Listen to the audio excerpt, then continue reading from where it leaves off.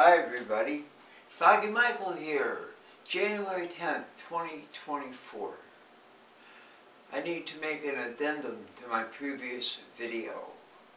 Glasses USA refunded my money and I am amazed and very grateful. I'm kind of sorry I made the first video, it is now gone.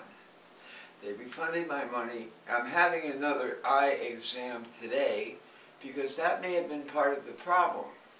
That test was done by an ophthalmologist, but I believe this the prescription, not the subscription, could be wrong.